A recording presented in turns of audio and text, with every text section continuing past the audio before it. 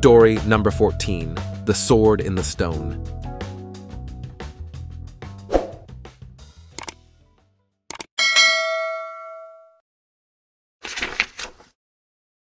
Long ago in England, a wise and just king ruled the land.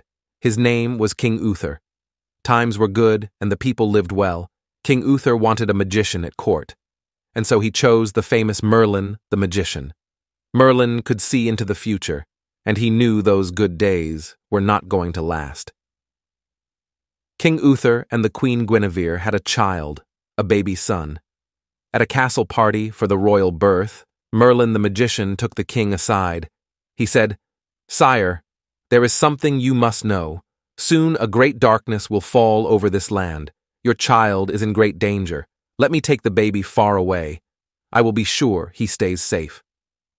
Merlin, said the king in surprise, you are a great magician, and you are my friend, but there is no way we would let anyone take our child away.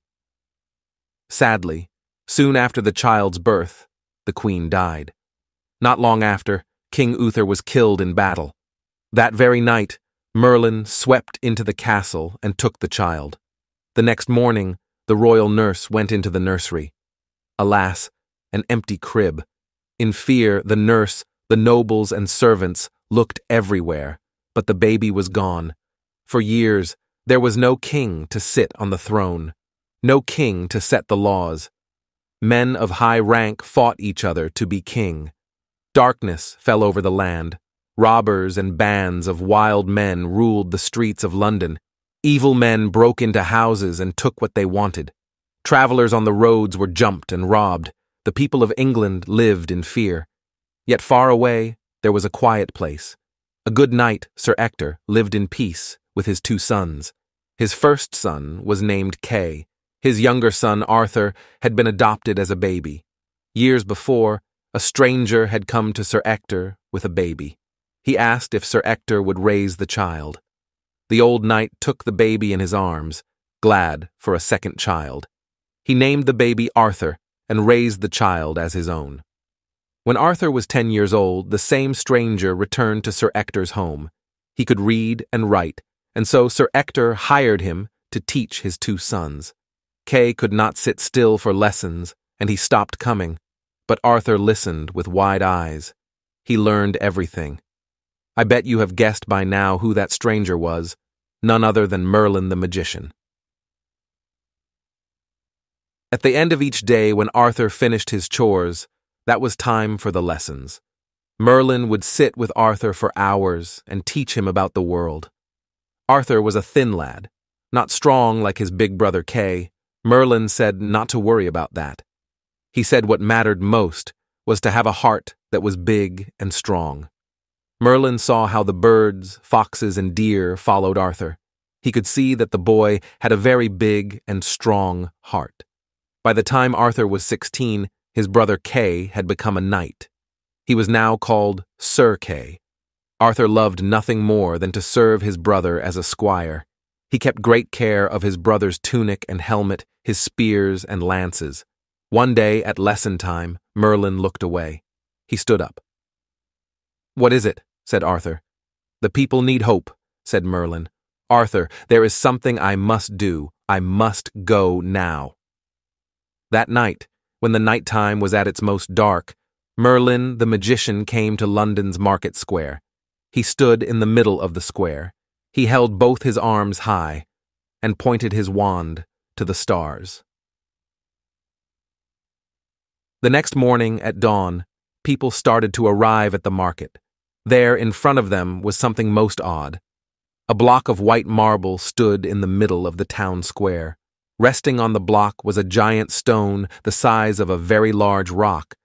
At the very top of the stone, there was a golden sword handle and a few inches of the blade shining in the sun.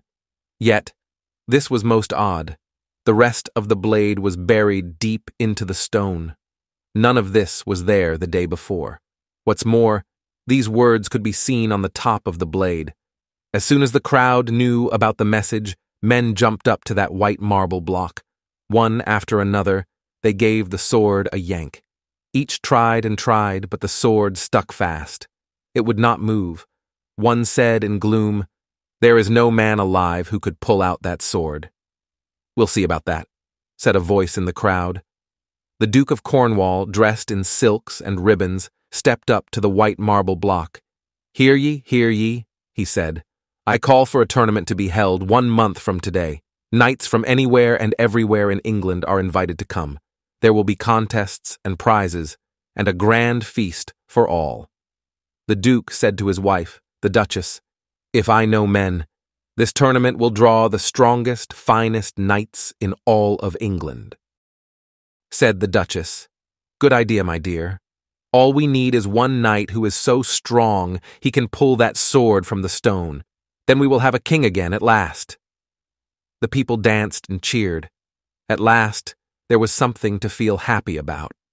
News of the tournament traveled fast, from castle to village, to every far corner of the land. At last, word got to the faraway home of Sir Ector. Sir Kay heard the news when he was polishing his helmet. Arthur, he called out. Arthur was once again by the woods feeding birds from his hand. He set down a pile of seeds for the birds and a pile for the squirrels, then he ran fast to see his brother. There you are, said Kay. There will be a tournament in London. We must set out at once. What great news! Arthur had never been more than a few miles from home. He would be the best squire ever for his brother. Arthur ran back to the house. In the courtyard, his father was getting the horses ready. Sir Ector and his two sons rode through London on their way to the tournament. Riding through the market square, something shiny glinted in the sun. That sword looks like it goes right into that stone, said Arthur. But how can that be? That's impossible. But why were guards standing all around it? The father and his two sons reached the tournament. Sir Kay ran off to get in line to register. Sir Ector greeted many old friends, dukes, earls, barons, counts, and countesses. Arthur sat in their tent, polishing his brother's helmet till it shone bright. A bugle sounded. The tournament was about to begin. Get my sword, demanded Kay. Right away, said Arthur. But where was it? Arthur looked around in panic. Kay's spear, battle axe, and dagger were right where they should be, but no sword. Kay, he said, how about a battle axe? Where is my sword? I'll have it in a moment, said Arthur. Be quick about it, said Kay. Arthur ran back into the tent. Maybe he had left Kay's sword there. He searched through the bag of armor and weapons. How could he let such a thing happen? Then he had an idea. Very fast, Arthur rode back to the market square. The guards were not there anymore. They must have all gone to the tournament.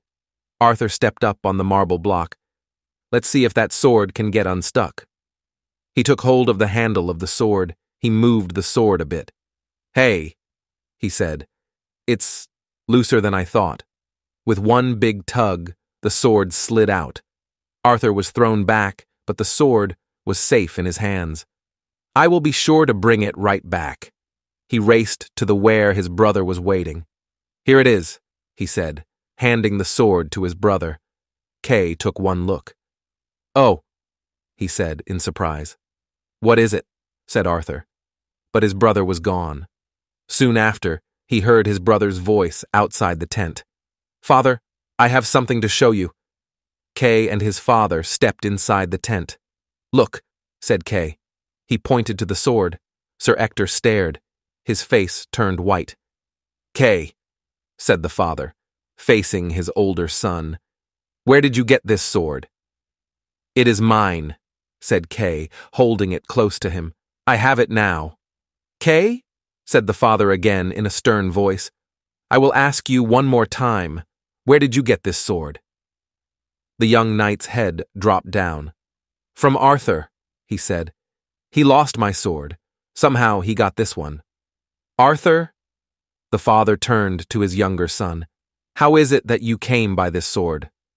I'm sorry, said Arthur. Father, I will put it back right away. I only meant to borrow it when I pulled it from the stone. You must take us to where you found this sword, At once! The three of them rushed over to the market square. Arthur climbed up onto the marble block. It came from here, he said. He lifted the sword over his head, then he dropped the blade back into the stone. Now it's back. Hey, said Sir Kay, I still need a sword. He jumped up onto the marble block. Grabbing the hilt of the sword, he pulled and pulled. But it did not move. Kay shouted to Arthur, What did you do to it? Nothing, said the lad. You must have done something, yelled Sir Kay. Hush, both of you, said the father. It is better if no one sees or hears us. But it was too late. A crowd had already started to form. Hey, did you pull that sword out of the stone? called one. Do it again, called another from the crowd. Yes, let's see it. Arthur put his hands around the golden handle. With one tug, the blade slid out. Who are you? called another voice. What's your name? Arthur, said the lad. Wait a minute, put that sword back. A tall knight pushed forward from the crowd. Anyone can pull it out once it's been pulled. Go ahead, put it back, son, said a voice. It was the Duke of Cornwall, the one who had called for the tournament. All right, said Arthur. He slipped the blade back into the stone with ease. Let me at that now, said the tall knight. He jumped up and grabbed the handle of the sword, but pull and tug as he might, the sword would not move, not even a bit. Another knight tried, then another. But no one could move the sword. Some waited, thinking the longer they pulled the sword, the looser it would get. But when each man took their turn, the sword did not move for them. Let the lad try now, said the Duke of Cornwall. Arthur, go ahead. One called out at last, He must be our new king. We have a king, called another. At last. Stop, shouted the tall knight. Do you really think this skinny boy should rule over all of us? Yes, said a voice. All eyes turned around. It was Merlin, the magician. I know this boy. I know his heart. There is no one in England who has a heart that is bigger and stronger than his. The sword has told us this young man is to be the next king of England. And there is something else. The lad, said Merlin, pointing to Arthur, is the true child of King Uther. He is the missing baby. Cheers began to ring out. Hail, King Arthur! called someone from the crowd. Sir Ector fell to his knees, then Sir Kay. One person after another fell to their knees too. All cheered. At last, a king had been chosen, a fresh young king, and a new day for England.